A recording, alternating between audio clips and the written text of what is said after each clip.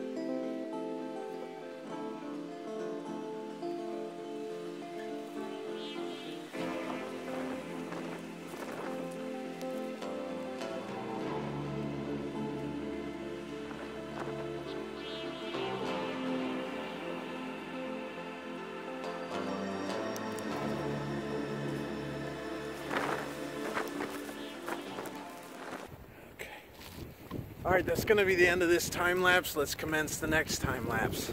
Yeah. It's cold, it's freezing, it's cold, and Howie's ready to go back inside, man. I'm ready to get back to Guam, guys. Get me out of here. Ah! Go on, let's go.